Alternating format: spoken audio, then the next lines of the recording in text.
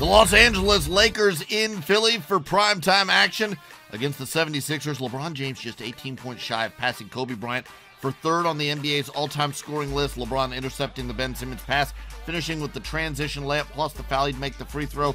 LA in front 13 7. Ben Simmons drives and hits the off balance jumper. Then Raul Neto finds Furkan Korkmaz, who fakes and knocks down the three pointer. This is part of a 10 0 Sixers run. They're up 30 to 18. LeBron drives, crosses over, knocks down the layup off glass. He had 14 first half points. Tobias Harris jab steps, knocks down a baseline jumper 46 36. Then LeBron drives, lobs it up to Anthony Davis, who gets the huge jam. And whew, we got a replay, stacked highlight. Davis had 16 first half points Philly, though, up by three. Ben Simmons drives, kicks it out to Matisse Thybulle, who knocks down the catch and shoot three.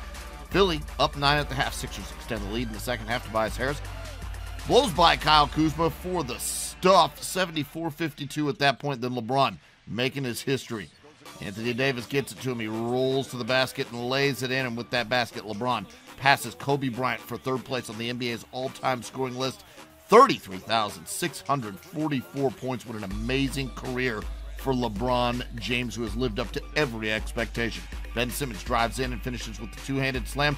91 77, Philly in front. Sixers turn it over. Lakers go the other way. Alex Caruso.